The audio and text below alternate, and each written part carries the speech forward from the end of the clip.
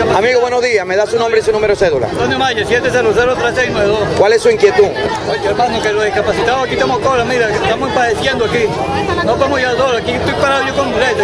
Una señora que tiene un, estado. Bueno, que queda lástima. Yo quiero que ellos pongan en carne propia de ellos. Como, familia, padre de familia que son también. pues. Ok.